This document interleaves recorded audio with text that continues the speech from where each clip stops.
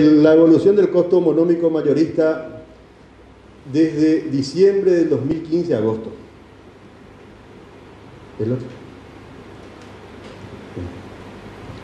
Nosotros nos presentamos y trabajamos, hicimos esta, este cuadro en forma responsable para que eh, los señores que quieran conversar con nosotros sobre todo esto, porque echan cargas y culpas de cómo esto se fue moviendo. Entonces nosotros hicimos un cuadro que responde a la realidad de estos tres últimos años.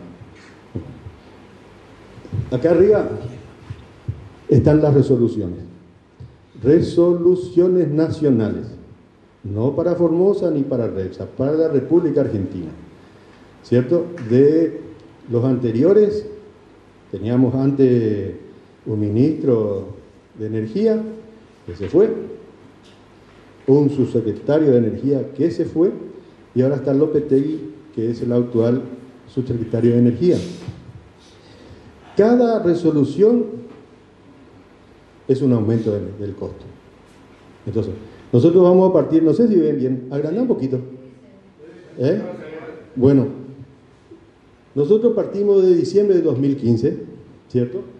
Y le digo el componente, el componente que viene en la factura, que después le voy a mostrar una factura de la compañía argentina del mercado eléctrico mayorista de cómo se conforma. Entonces, el precio de la energía, esto es un aporte que se hace al Fondo Federal de Energía, este es el transporte en alta tensión y en extra alta tensión, y esto es el precio de la potencia instalada que tiene cada repartición. Bueno, nosotros comenzamos con diciembre del 2015, el precio de la energía era 83 pesos el millón de vatios. El millón de vatios. Costaba 83 pesos. Burda la comparación, una botella de una gaseosa. Este es el fondo tarifario, compensador tarifario. El transporte, la potencia no nos cobraban, era de 92 pesos el millón de vatios que nosotros repartíamos. Nosotros somos distribuidores. Costaba el precio de una gaseosa. Hace tres años atrás. Bueno, asume el nuevo presidente. La primera resolución que dicta es la resolución número 6. Resolución. ¿Qué es lo que hace el señor Macri? Saca el subsidio. El primer acto de gobierno, sacar el subsidio, de 83 pesos se fue a 312, 321 pesos el millón de vatios. El precio del transporte por millón de vatios sigue siendo igual, empiezan a cobrar la potencia instalada. ¿Cierto? Empiezan a cobrar por cada millón de vatios, estamos hablando. Bueno, y así vamos en forma sucesiva. Resolución número 41, mayo del 16, mantiene 321. Resolución número 20, se fue a 400 pesos. Resolución número 256, se va a 640. Va cambiando todo. Va cambiando todo el componente. Yo me, siempre me, me refiero a energía y después vamos a ver el costo que está en azul, que es la sumatoria de, los componentes.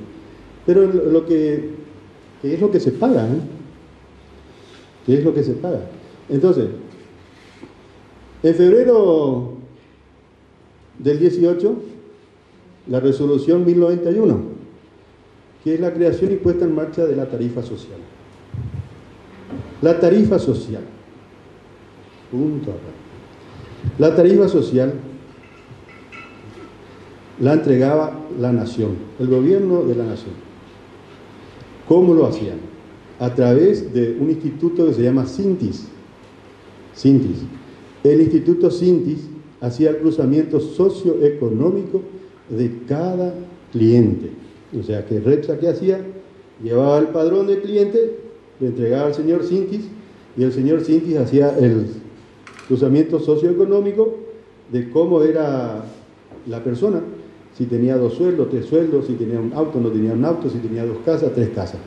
Si, con, si el CINTIS consideraba que esa persona estaba dentro de los parámetros de no tener dos sueldos mínimo vital y móvil, por ejemplo, y dos casas o dos terrenos y un auto modelo 2008, ¿sí? podía ser beneficiario de la tarifa social nacional. Desde este pequeño tiempo, hace tres años que comenzó esto, el incremento exponencial del costo monómico de la energía está en el valor de 2.677% de aumento. Nunca nada, nunca este, nada aumentó tanto. O sea, si vamos, nosotros agradecemos el aumento del gobernador del 42%, que es una recomposición salarial que todos los municipios están adhiriendo, gracias a Dios. Pero no se igualamos al precio de la energía. Estamos lejos, estamos lejos. ¿Por qué? Porque la generación está dolarizada.